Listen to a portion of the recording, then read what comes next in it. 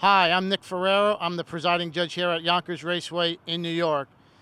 And our rule about the front runner or the lead horse is that horse must maintain a proper pace at all times.